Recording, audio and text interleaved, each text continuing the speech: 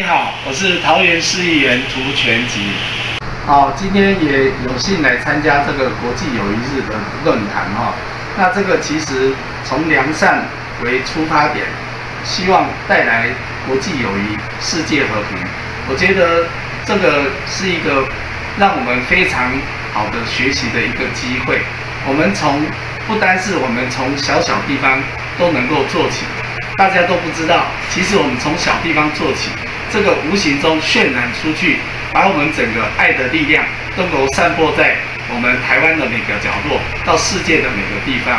我相信从小做起，大家哦，每个人都可以尽一份心力，然后发挥无比强大的力量。我相信这国际友谊日的推动哈，可以让我们有一个正面的力量的发生。当我听到我们杨美有这四位的年轻的子弟哈，跟随我们。太极门亲善访问团出国做这个国际友谊的交流，我觉得我们也是与有荣焉呐。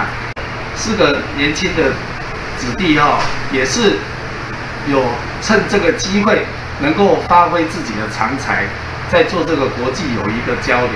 我觉得这是一个很好的表率。那对我们杨梅来讲哦，也是莫大的光荣。也可以说是我们的扬眉之光，所以在这边呢，也感谢他们，也恭喜他们。其实我们世界本一家，世界大同。那我们虽然居住在这个小小台湾，哦，常常所面临的都是一些左邻右舍的事情。可是当你要知道，每一个国与国之间所发生的问题，其实都是跟我们息息相关的。包含这次最简单，我们这个新冠疫情，你看这个就是本来只是一个国家，你看这个已经渲染到全世界，所以这个世界本一家这个观念本来就是应该要有。那当然，像现在俄乌的战争，其实也不是我们所乐见的。我们希望借由这个友谊，能够推动这个世界和平。你看俄乌战争所带来的影响，虽然战争不在我们这边，可是你看影响了。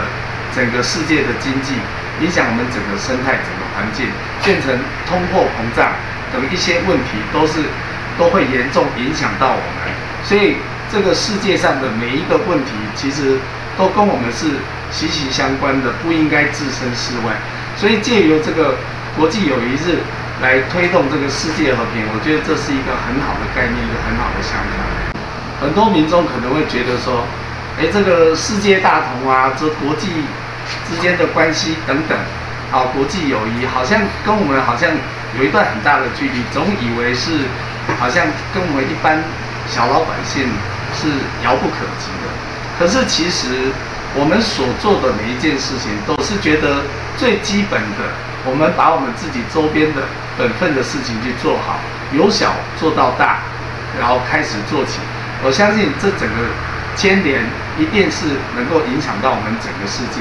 所以，像我们平常在地方上能够做一些公益的事情，能够关心关怀我们周边的所有的每一个好朋友，把这个爱的这个种子散播出去，我相信会影响到我们世界上的各个角落，让这个爱与祥和、世界和平的概念、国际友谊日，我相信能够推动得更好。